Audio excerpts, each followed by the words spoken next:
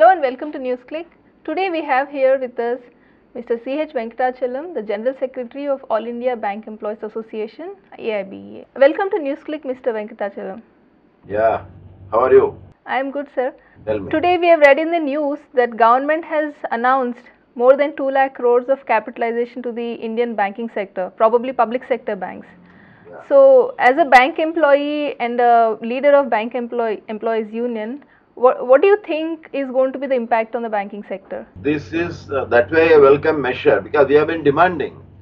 See, the point is that banking sector, public sector banks are totally connected to economy and its development. So, if our economy has to develop and grow and progress, naturally there is a link between uh, the development in the economy and the progress of the banks. But banks, there is a crisis now in the sense that number one, banks are not able to lend uh, more be- because the, there is a problem of capital. And why there is a problem of capital? Because uh, banks are earning profit, but everything is going diverted toward bad loans provision. So there is no capital, and their capital adequacy ratio is coming down. So they are not able to lend.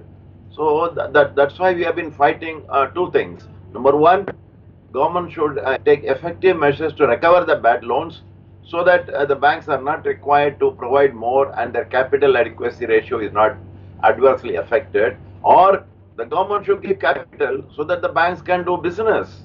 So that, that way i think one portion we, we know the nexus between the government and the people who have taken the bad loan. It's not that easy for them to recover. Rather they, they pamper them. They give all concession for write off so at, at least this uh, now they're coming forward. Let's hope faithfully, uh, sincerely, they will give this capital and banks will be able to use this money for productive purpose, for uh, agriculture development, for uh, small scale industries, employment generation, uh, uh, education, infrastructure like that. Again, this money is also, uh, government has been telling 2000, 2013 it has been given to some people by the previous government.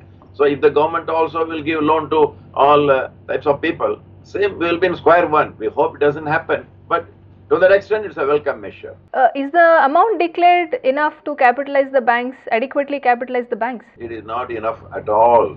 It is not. We need more than four lakh crores.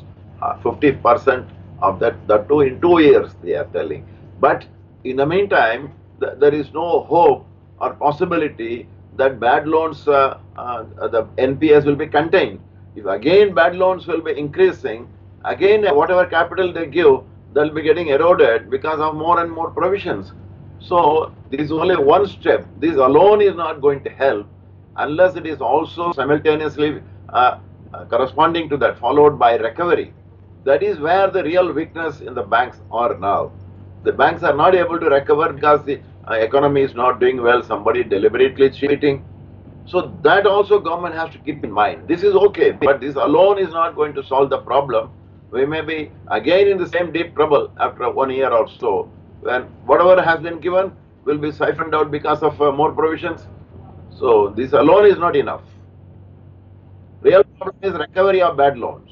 Talking about the economic recovery, government government linked this uh, recapitalization of the banks with economic recovery, especially of special lending to MSME, micro and small uh, enterprises.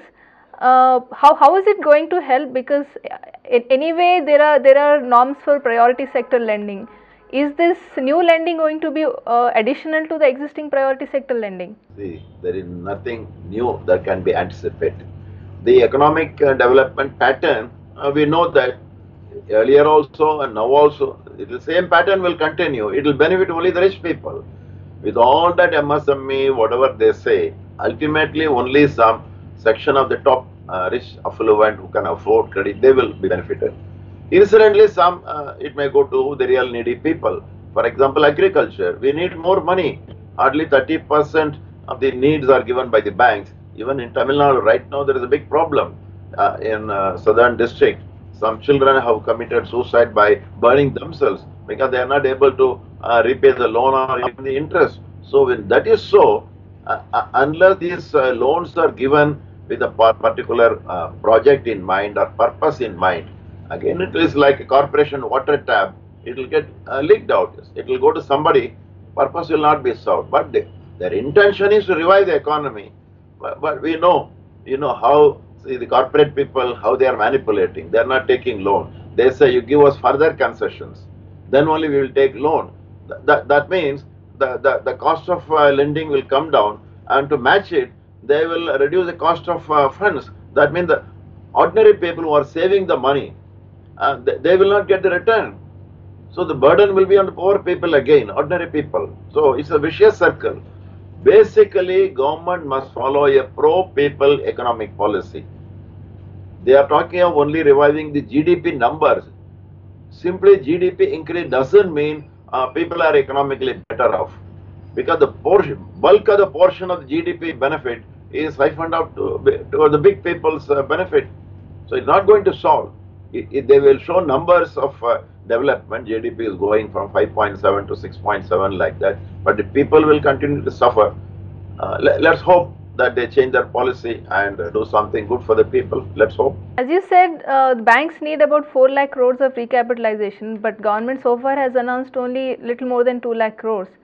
So, is, is there any particular reason behind it that government wants to shut down the some of the smaller banks or uh, do the merger of bigger banks? Is there something like that?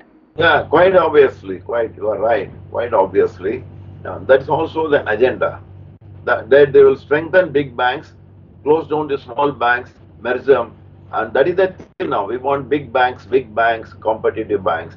Big banks by themselves do not mean that they are good banks. We need good banks which are uh, those banks which will help the common people. What is the purpose of big bank? That means and the risk is more. We have seen in America, elsewhere, big, very big banks, they have collapsed. So India cannot afford to take that risk at this moment when, when, when already we are in crisis. So I think the government is trying to take a big risk in making the bank bigger. We need good banks, we need effective banks which can help the people.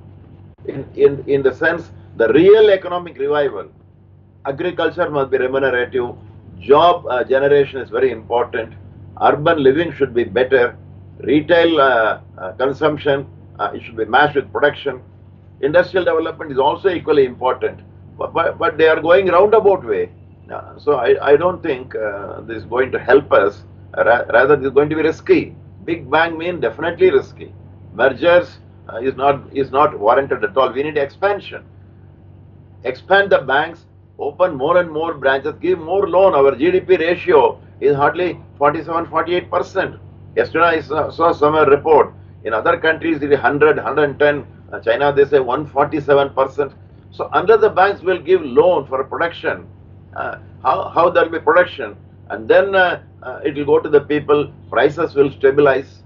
So now these loans are all helping only uh, speculation, not stability. Thank you for giving us your time. Thank you, Sujana. Thank you. Thank you for watching NewsClick. Keep, keep watching us on newsclick.in.